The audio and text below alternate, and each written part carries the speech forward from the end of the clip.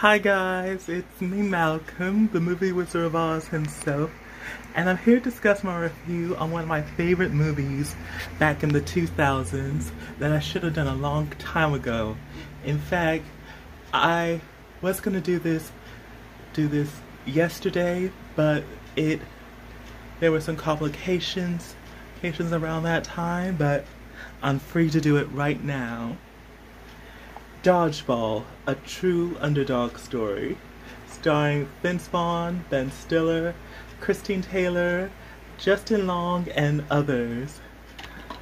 Boy, this we have a packed, packed cast, cast in this movie. I I just love it.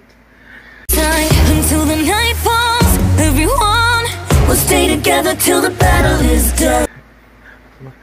I love every single minute of Dodgeball. It was, it was so funny. It was a knockout, literally. It was, it was amazing, and and it and sometimes it could be a little gross out. I mean, I really do admire it.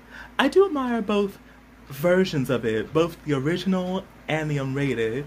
How we get to see scenes, scenes that we haven't seen in theaters, though.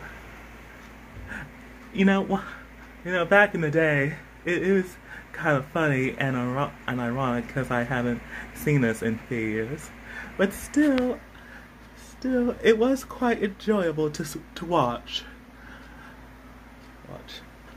In fact, there was a time that I could have done this around, around, around for Justin Long for his birthday. I could have done this review in honor of him, but I missed it. But not anymore. I but I really do love Justin Long in this movie. He he was one of those breakout characters, you know?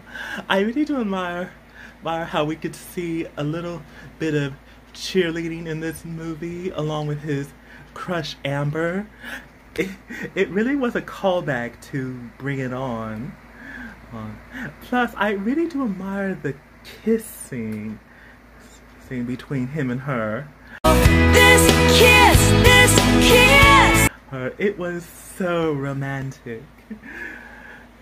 But nothing's more romantic how Owen fell in love love with with Fran, one of one of White Goodman's team members from the Purple Cobras. Be young forever. You make me feel like I'm living a teenage. Talk about opposites attract. It does have that Romeo and Juliet vibe. but I gotta give, but I gotta give it to Miss Missy Pyle in this one. She really pulls pulls off quite the makeup in this movie. Movie kudos. what else? What else? Oh, I really do admire Christine Taylor's acting in this one. Well, this is the second time she and her husband Ben Stiller did a movie together after Zoolander. I, I mean, I do admire her her being such a badass in this movie with with those dodgeballs. She was astonishing. Who got the power?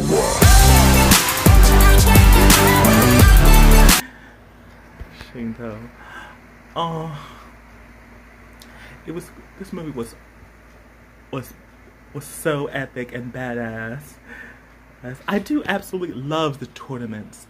My favorite part is where Gordon Pibbs, Pibbs, who who got got angry, angry, angry at the last minute, minute of the semifinals when he battled against against those flying cougars. It was it was it was awesome. But I really do like the deleted scene how he how he got how he wanted a divorce from his wife. It was it was it was quite justice what he did. Um, what else? What else? Mm. Oh, and I really did love the sudden death scene. How Peter, Peter put on that, on that blindfold and, and just accepted his fate. But turns out he dodged the ball, ball in the nick of time and aimed it, aimed his ball at, at White Goodman. Oh, I it was iconic, so iconic. Man, I really did love it how it ended, especially the shocking scene how we get to see Kate with another girl, girl, and turns out she was a lesbian. But turns out, but she said she's not a lesbian. She's bisexual, and I really did love, and I really did love how she straight up kissed Peter like that.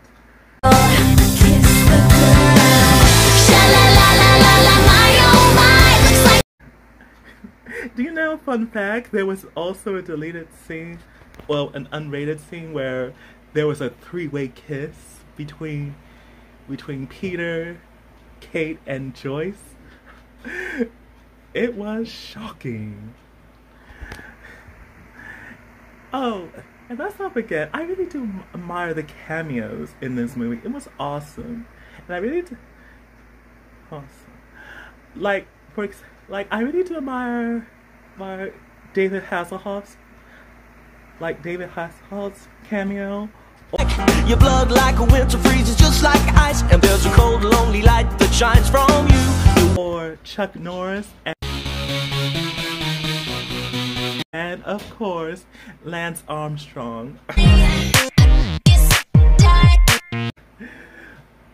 oh, it's amazing. This is why I love this movie. It it really is a classic.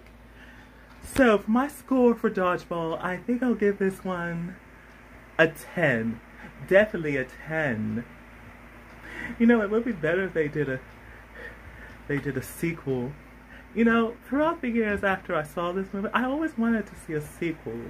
Because in my synopsis for a sequel, I do believe that that White Goodman should come back with a new team and battle against the average Joes, Joes for revenge. Can you imagine? Okay, you guys, I guess that's it.